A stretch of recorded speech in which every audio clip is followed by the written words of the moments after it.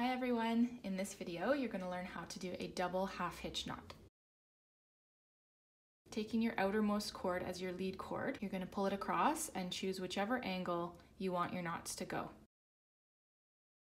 You take your one cord behind and you're going to do a half hitch knot around your lead cord.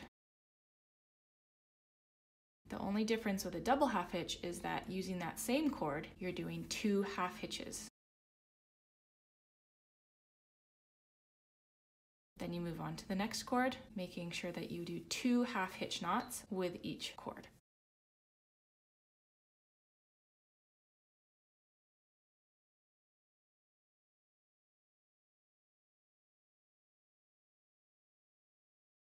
A tip for how to make your knots consistent is that when you're tightening it up, if it doesn't pull quite tight enough to the other knot, you push it against with your thumb and forefinger.